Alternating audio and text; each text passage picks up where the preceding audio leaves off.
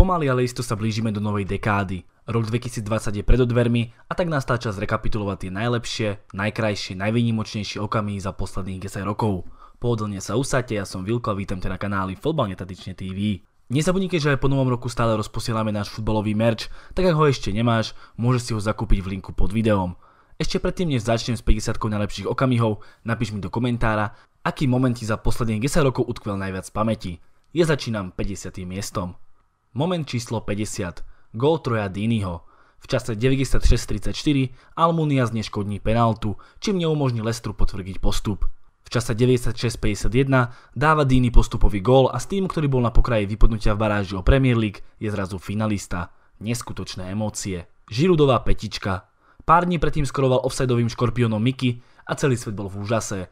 No upgrade Žiruda, ktorý to trafil absolútne famózne, je bezkonkurenčný. Volej fan Persieho. Týmto golom potvrdil 20. ligový titul pre Manchester United, hneď v prvej sezóne potom, čo na Old Trafford prestúpil z Arsenalu. Suárezové kusačky. Jeden z najšokujúcejších okamihov tejto dekády. Luis Suárez pokúsal Branislava Ivanoviča, aby o rok na to na majstrovstvách sveta pokúsal Kieliniho. Bláznovstvo. 46. miesto. Majstrovstvá sveta 2010. Na prvé majstrovstvá sveta tejto dekády budeme vždy spomínať s obrovskou nostalgiou. Vuvuzeli, africký kontinent, hráči, ktorých dnes nazývame legendy a gol Čabalalu s fantastickým komentátorom Sky Sportu, gól Bafana Bafana, no proste zimomriavky. Chamesov gól za Kolumbiu. Chames bol hviezdou majstrovstve sveta 2014, strelil na nich 6 gólov, no legendárny ostane volej v 8 finále proti Uruguaju. Ten je jednoducho nezabudnutelný. Ajax 2019. Niečo čerstvejšie, no spôsob, akým Ajax dokázal poblázniť svet bol výnimočný. Na lopate ostal Real Madrid a Juventus a finále Ligy majstrov bolo neskutočne blízko. Žiaľ, nestalo sa. Futbal a výkony, ktoré ale Ajax ukázal, boli výnimočné. Hlavička fan Persieho.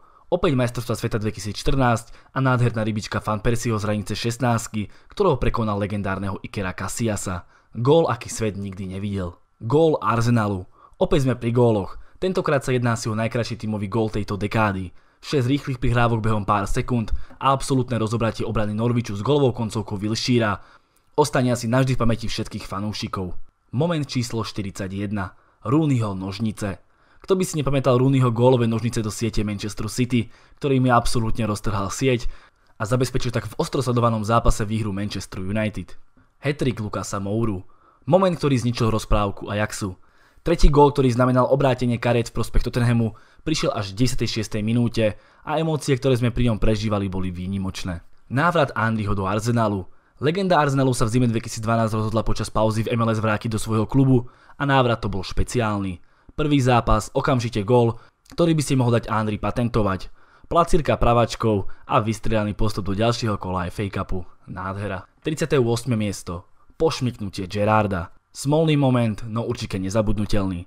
Okamih, ktorému sa pripisuje strata titulu, aj keď tá sa zrejme udiala v Selhurst Parku. I tak šlo o významný a neskutočne riešený okamih. Kapitán Gerard, ktorý Premier League nikdy nevyhral, bol k tomu veľmi blízko, no pošmikol sa. Veľmi silná emócia. Prestup Neymara. A celý futbal sa definitívne zmenil. 220 miliónov je čiaska, ktorá absolútne prevýšila všetky rekordy a umelo nadvihla hodnotu všetkým futbalistom. Ruka Suáreza.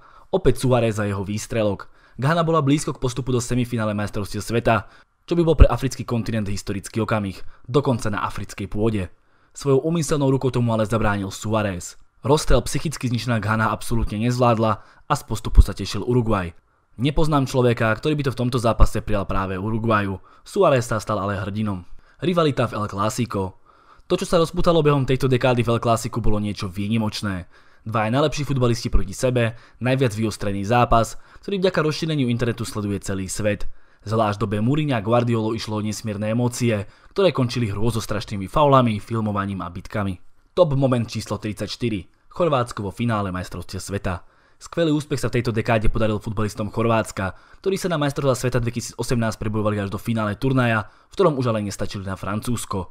Celý turnaj si však žili krásnu rozprávku. Jamie Vardy, ešte v roku 2010 hrával Vardy za Halifax 7. najvyššiu súťaž, aby o 6 rokov absolútne roztrhal futbalovú scénu a vystrelal Lestru titul, ktorý môžeme označiť za ten najmenej očakávaný. Vardy uraduje v Anglicku až dodnes a určite sa jedná o najväčšieho skoka na celej futbalovej dekády. Balotelliho oslava Balotelli si zažil počas tejto dekády množstvo výstrelkov, o ktorých by sme mohli napísať knihu. no zaujala aj futbalovo. Napríklad na majstrovstvách Európy v roku 2012, počas ktorých strelil 3 góly, z toho 2 semifinále proti Nemecku, ktorými zabezpečil skvadre Azure postup do finále. Zvlášť ten druhý, ktorým trhal sieť, bol výnimočný. No a tá oslava je jedna z najlegendárnejších, na ktorú nikdy nezabudneme. Top moment číslo 31. United 1, City 6. Moment, ktorý definitívne zradil Manchester City do zoznamu veľkoklubov. Potupná porážka svojho najväčšieho rivala, klubu, ktorý celé dekády dominoval nielen Manchesteru, ale aj Anglicku, bola obrovským futbalovým momentom. A opäť tu bol aj Balotelli. Slovensko na majstrovstvách sveta. Niečo, čo možno nevníma tak pozitívne celý svet, ale už len samotný postup na majstrovstvá sveta bol pre Slovákov nezabudnutelný. Sneh, improvizácie v zostave vlastný gól a oslavy, ktoré nemali konca. Ale že Slováci na záverečnom turnaji porazia majstrov sveta z predchádzajúceho šampionátu, bol najnezabudnutelnejší okamih slovenskej futbalovej histórie. Robert Vitek dvakrát a lobka Mila Kopunka, to je jednoducho futbalová klasika, pri ktorej človeka až zamrazí. Liverpool víťaz Ligy majstrov. Čakanie Liverpoolu na veľkú trofej trvalo neuveriteľných 14 rokov, no ešte pred koncom dekády sa to podarilo. Fantastická jazda v Lige majstrov a zisk tej trofeje ostane v srdciach fanúšikov Liverpoolu ešte veľmi dlho. Levandovského 5 gólov. Ak dá niekto hetrik je to výnimočná vec. 4 góly sú veľkou raritou, no a 5 v jednom zápase, to jednoducho obletí celý futbalový svet. No a Leva to všetko dokázal za 9 minút, a to je už za hranicami ľudského chápania, niečo absolútne výnimočné. Top moment číslo 27. Bapeho gól vo finále majstrovstiev sveta. Tento gól nebol krásny, nebol v posledných minútach zápasu a nerozdol o triumfe, no výnimočný bol tým, že Bape sa stal len druhým tínedžerom, ktorý strelil gól vo finále majstrovstiev sveta. Komu sa to ešte podarilo? Pelému. To hovorí samo za seba. Baleové nožnice vo finále. Proste nádherný gól. Ale že takýto gól padne vo finále Ligy majstrov, tak to je fakt výnimočné. Ťažko nájsť v poslednom zápase sezóny, ktorý sleduje celý futbalový svet krajší gól. Ronaldové nožnice proti Juventusu. Ronaldové nožnice proti Juventusu boli absolútne ako z iného sveta a uvedomovali si to aj samotní fanúšikovia starej dámy, ktorí gól CR7 na 0-2 vytlieskali. Abidalovo uzdravenie, Pokoriť rakovinu, vrátiť sa a vyhrať Ligu majstrov je niečo neskutočné. Abidálov príbeh je veľmi silný. Odchod Wengera. Jedna éra Arsenalu definitívne skončila. Arsene Wenger v tejto dekáde opustil Arsenal, s ktorým dosiahol fantastické úspechy. Aj keď záver angažma už nebol tak pozitívny, práca, ktorú s klubom odviedol, bola výnimočná. Messiho gól proti Bilbao. To ako tento loptový kúzelník obišiel celú obránu Bilbao a potom čo si loptu prebral na polovici hryska ostáva taktiež mimo chápania. Neskutočný moment. Top moment číslo 21. Messiho oslava proti Realu Madrid. Gól, ktorým v nastavenom čase zachránil ambície Barcelony na ligový titul.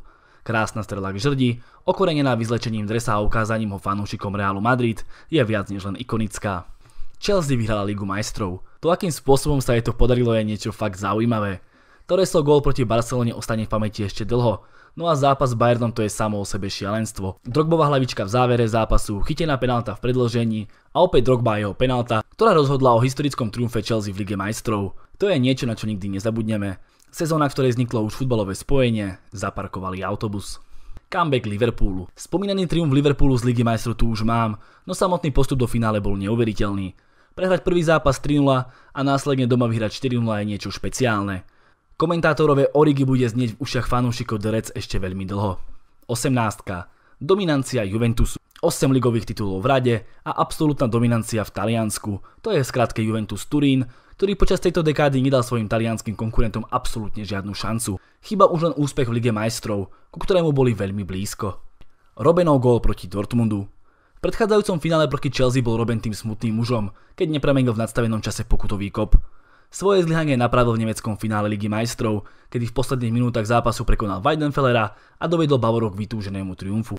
Ronaldo vyhral majstrovstva Európy, niečo čím sa jeho rival Lionel Messi nemôže pochváliť, medzinárodná trofej. Portugálci to spolu s Ronaldom dokázali na majstrovstvách Európy z roku 2016. Hrdinom okamihu bol Éder, ktorý to trafil vynikajúco. Historický moment pre Ronalda a Portugalsko. Bale versus Bartra. Legendárny šprinterský súboj, z ktorého ťahal za kračí koniec stoper Barcelony. Bale vytlačený za čiaru, urobil krásny oblúk, no aj tak ušprintoval Bartu a prekonal brankára Barcelony. Čo to znamenalo? Bale v závere zápasu rozdol El Clásico vo finále španielského pohára. Top moment číslo 14. Getzeho gól. Blízko k medzinárodnej trofeji, dokonca tej najvýznamnejšie mal aj Lionel Messi, no to by do finálového zápasu nesmel naskočiť Mario Getze, ktorý loptu v 16 krásne prebral a prekonal Sergia Romera. Neuveriteľný moment, ktorý zničil všetky nádeje Argentínčanov na to, že im ich hrdina priniesie do krajiny podobne ako Maradona trofej pre víťaza majstrov sveta. Iniestov gól Holandsku, opäť finále majstrovstiev sveta a opäť gól v predlžení. Iniestová skvelá trefa znamenala zisk titulu majstrov sveta pre Španielsko, ktoré týmto gólom porazilo Holandsko. Následná oslava s odkazom pre zosnulého kamaráta bola veľmi emotívna. Zlatanov gól. Za mňa osobne najkrajší gól tejto dekády. Zlatanové nožnice z obrovskej diálky, ktorými znemožnil Anglicko, boli brutálne a nikdy niečo podobné nikto nezopakoval a možno ani nezopakuje. Genialita v priamom prenose. Týmy Strebel, Inter Milano, Bayern Mníchov a Barcelona. Tieto tri týmy dokázali niečo výnimočné, niečo, čo sa nedosiahne každý rok. Získali treble. V tejto dekáde sme toho boli svetkami teda trikrát, kým v ostatnej futbalovej histórii len 5 krát. Gratulácia. Top moment číslo 10. Odchody legend. Vymenovať celý zoznam hráčov, ktorí skončili v tejto dekáde kariéru by bolo veľmi náročné. Skúsim aspoň pár hráčov. Andres Iniesta, Xavi, Raul González, Javier Zanetti, Alessandro Del Piero, Pippo Inzaghi, Francesco Totti, Philip Lahm, Bastian Schweinsteiger, John Terry, Frank Lampard, Steven Gerrard, Paul Scholes, Ryan Giggs, Thierry Henry, či David Beckham, Ronaldinho, Kaká. Tí všetci futbalisti skončili v tejto dekáde svoju futbalovú kariéru. Samozrejme tých hráčov bolo oveľa, ale oveľa viac, no vymenovať všetkých našich detských hrdinov by bolo extrémne náročné. Ďakujeme. Ramosová hlavička 92-48 a hlavička Ramosa, ktorá zmenila všetko. Real Madrid vyrovnal zápas vo finále Ligy majstrov proti Atletiku a v predĺžení nedal šancu svojmu mestskému rivalovi. Bielý balet tak slávil historické 10. víťazstvo v Lige majstrov. Osmička. Obrad Barcelony proti PSG. Prehrať prvý zápas 4-0 a následne urobiť najväčší comeback v histórii odvetných zápasov to je jeden z najlepších momentov tejto dekády. Možno moment, pri ktorom sme emočne absolútne vybuchli vyhrať domáci zápas 6-1 gólom v posledných sekundách zápasu, byť na štadióne asi zinfarktujem. Neskutočné, nezabudnutelné. Nemecko versus Brazília 7-1. Takýto výprask sa na majstrovstvá sveta nedieje každý deň, ale že takýto výsledok uvidíme v semifinále majstrovstiev sveta medzi domácou Brazíliou a Nemeckom bolo jednoducho silné kafe pre všetkých a Brazílie mi bolo úprimne ľúto. Nemci nemali zľutovanie a obrovský sen Kanarikov získať titul na domácom šampionote rozobrali na súčiastky. Šiestý moment. Aguero. Prvý titul v novodobej histórii a legendárny gol Aguera, ktorým v posledných sekundách zaistil titul Citizens pred Manchester United. Nezabudnutelné. Peťka. Odchod Sira Alexa Fergusona. Po 26 rokoch skončila v tejto dekáde najkrajšia rozprávka v histórii Manchester United. Najlepší manažer v celej histórii v roku 2013 ukončil svoju kariéru a nejednému fanúšikovi tiekli slzy po krajíčku. Skutočná legenda. Štvorka. Rekordný počet zlatých lôpt. Opäť Messi, ktorý sa v tejto sezóne osamostatnil v počte zlatých lôb od Cristiana Ronalda. 6 je po novom absolútny rekord a sledovať súboj týchto dvoch ďalších sezónach bude extrémne zaujímavé. Ostaneme na čísle 6, pohneme sa na 7 alebo Ronaldo stiahne svoju stratu. To sú otázky. Top moment číslo 3. Real Madrid vyhral 3 krát Ligu majstrov. V rade. Už samotná obhajoba Ligy majstrov bola v novodobej histórii pokladaná za niečo nemožné. Real Madrid absolútne zbúral všetky mýty o tom, že sa to nedá a zaknihoval dokonca hetrik. Druhý najlepší moment. Leicester vyhral Premier League. Niekto očakával tento historický počin možno na prvom mieste. Zisk titulu Leicesterom bol najvynimočnejší tímový úspech, možno v celej histórii futbalu. Kurs na líšky bol 5000 ku 1, no družina Ranieriho tieto čísla absolútne zmietla zo stola a ukázala nám, že snívať sa oplatí. Najlepší moment celej dekády. Ronaldo a Messi. Možno sledovať výkony dvoch najlepších futbalistov v histórii musí byť pre všetkých fanúšikov tým najkrajším a najlepším možným momentom celej dekády.